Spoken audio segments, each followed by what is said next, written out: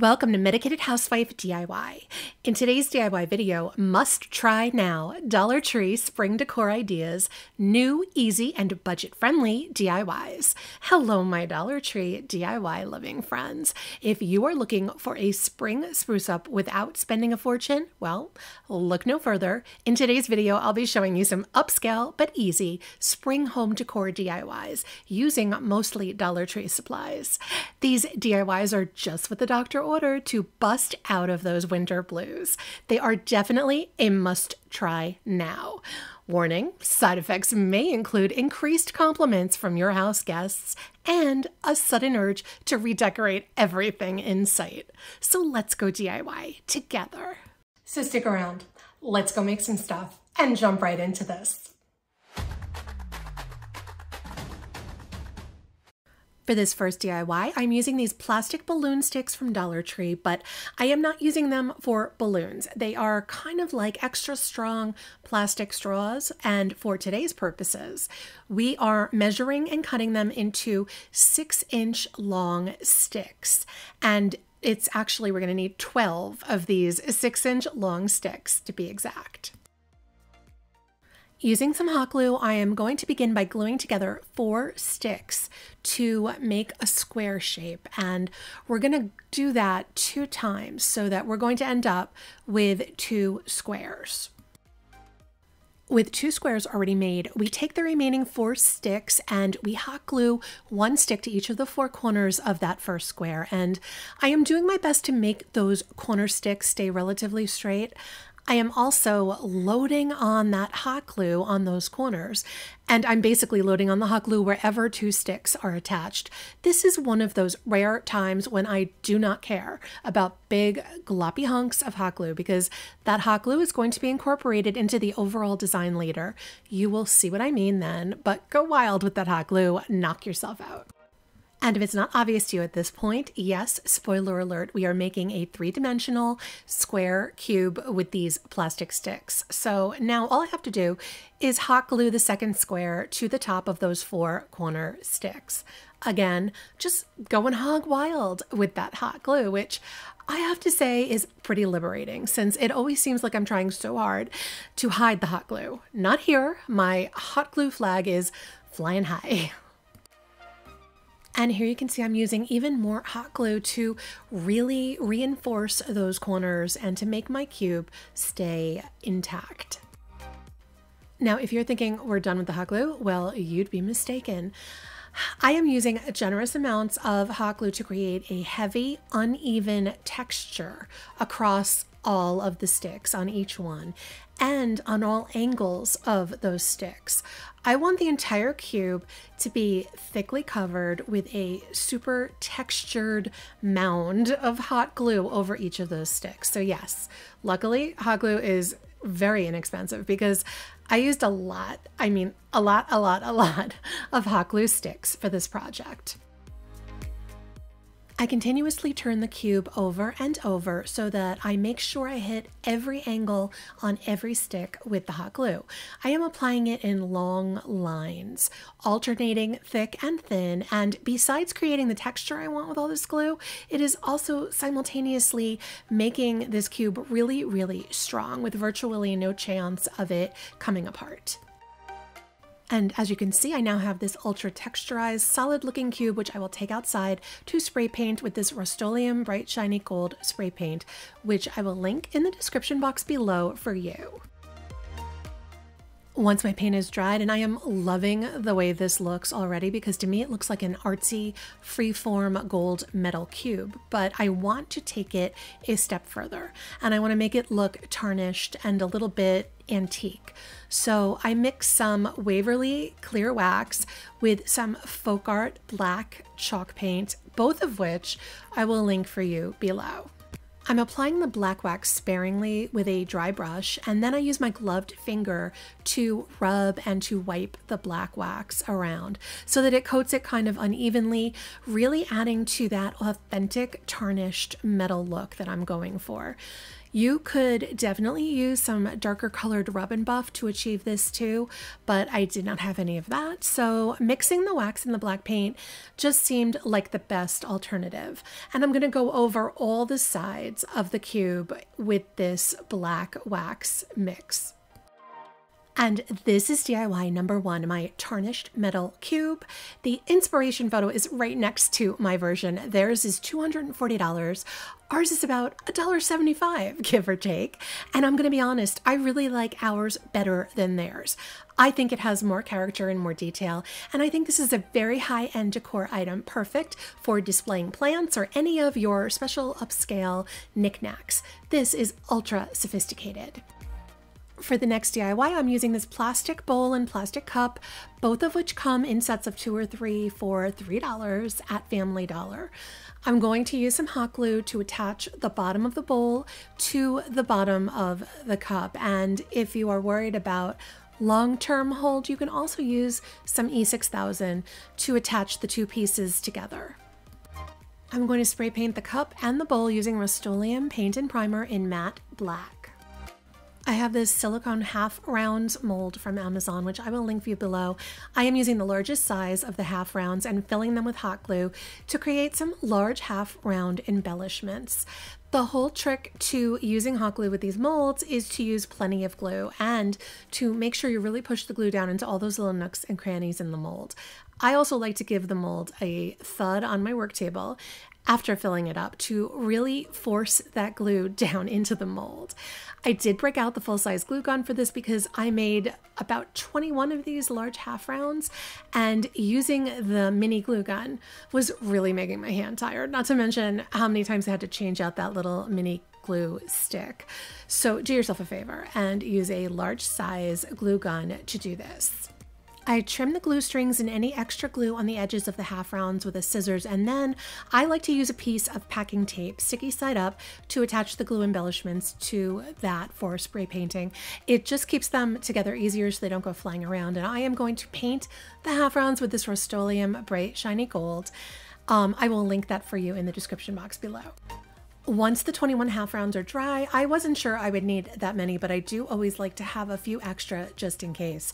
So once they're dry, I remove them from the tape and I kind of want to inspect them to see which ones are the better looking pieces so that I can be sure to use those pieces first. Once my matte black bowl is also dry, it is time to attach the half rounds and I have to apologize for this clip.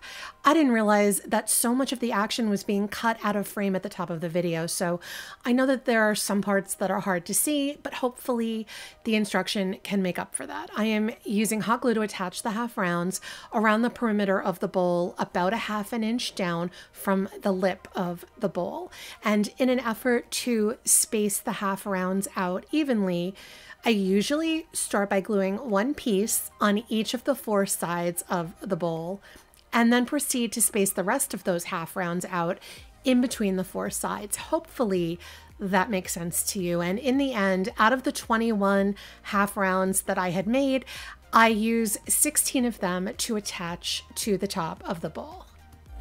And this is my modern matte black pedestal bowl, and I really like the sleek modern look of this bowl.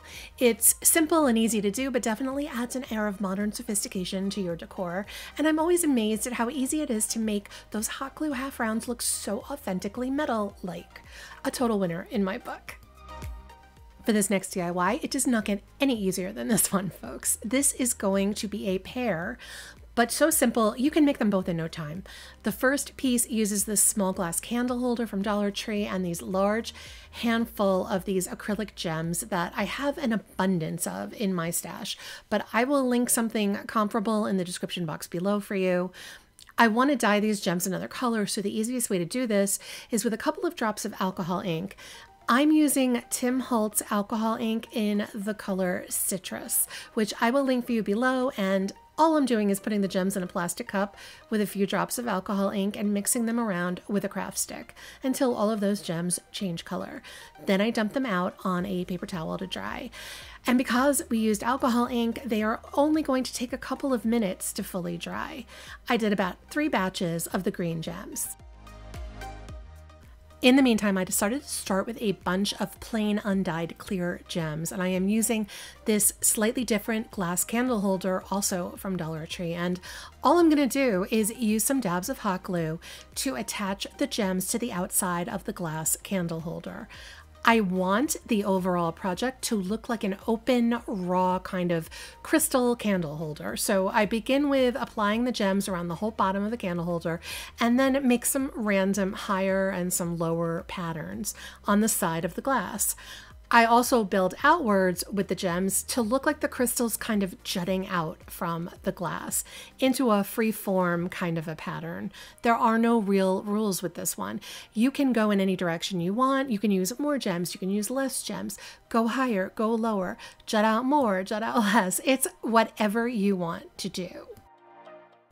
Next, I'm going to be doing the same sort of thing with the green gems.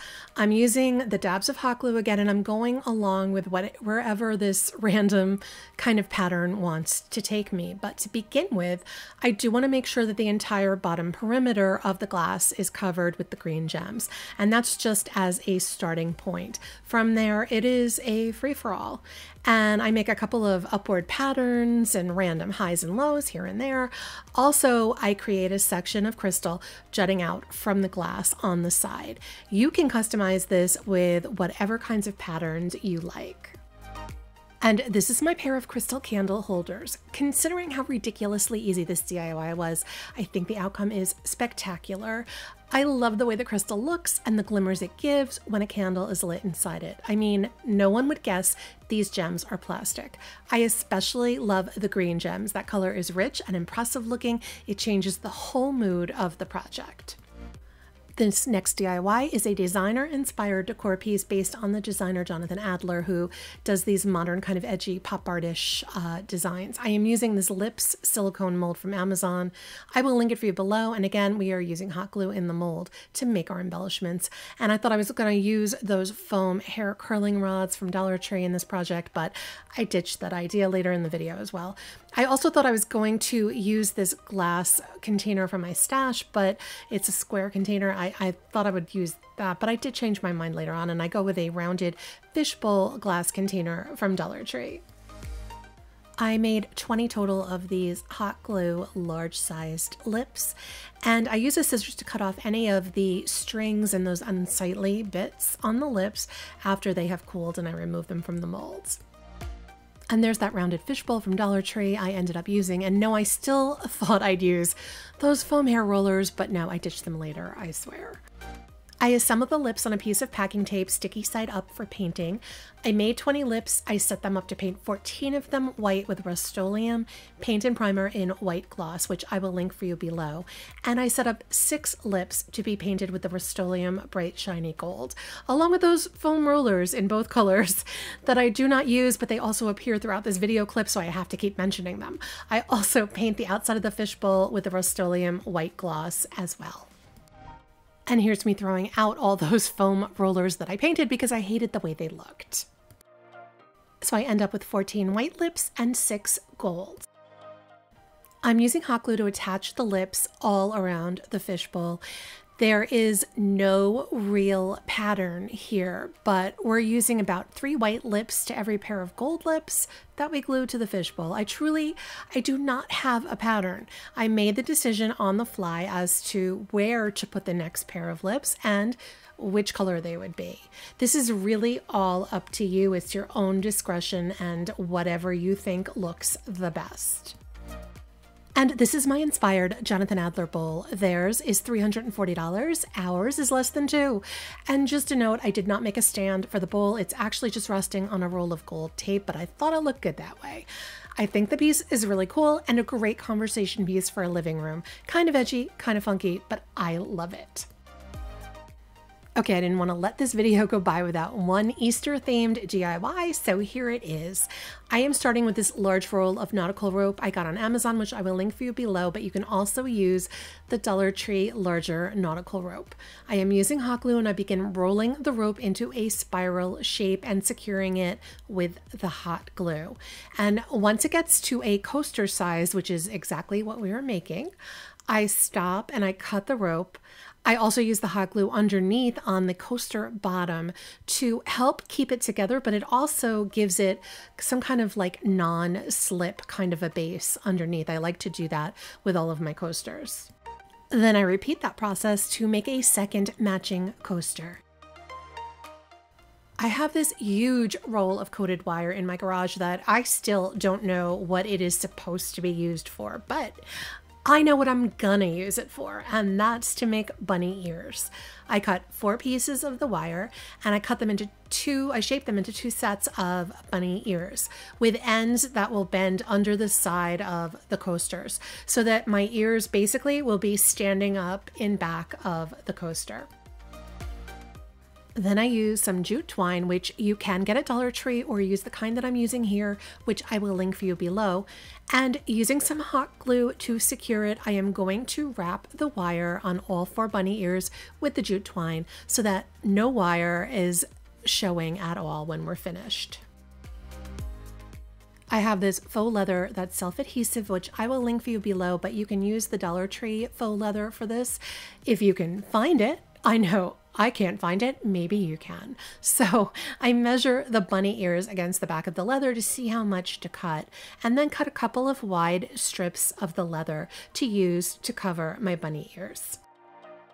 I'm cutting the leather to double width because it is self-adhesive, so I'm going to need to fold it in half so that I have the leather on both sides.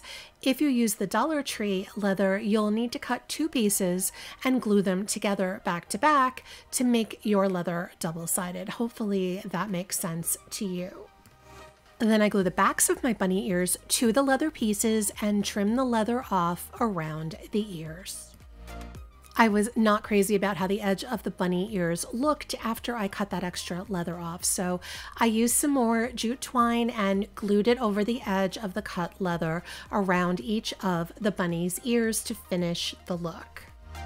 Next, I glued the bent wire overlap on the bottom of the bunny ears under the coasters so that each coaster looked like it had a pair of bunny ears standing up behind it.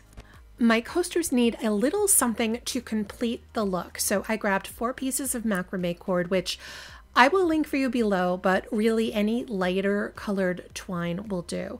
And I made two of the most basic little bows that I could. And I have to admit that I am the world's worst bow maker. Challenge me, I dare you. No one is worse at this than me. I don't enjoy them, and frankly, it shows. My bows as a whole are simply uninspired. I know this. No need to point it out to me. I am well aware of my bow limitations. I will leave the bow making to all those fabulous bow making experts on YouTube. You win, I lose. And here are my very rustic Easter themed bunny ear coasters. Now, I am not one for all the pastelly Easter themed stuff, so I just felt these rustic coasters were more my style. I love the combo of the leather and the rope, and my bows, notwithstanding these coasters, are kind of cute in that Easter way. As always, I want to know what you think. Let me know in the comments which one of these must try Dollar Tree spring decor DIYs is your favorite and why. I really do love hearing from you. I want to thank you all for watching. Your support means so much to me, and I am thankful each and every day for all of you. And if you've enjoyed any of these spring home decor DIYs, please consider hitting the like button and subscribing. I would love to have you here. Until next time, thanks for watching. My name is Sarah. I'm the medicated housewife, and crafting is my medication.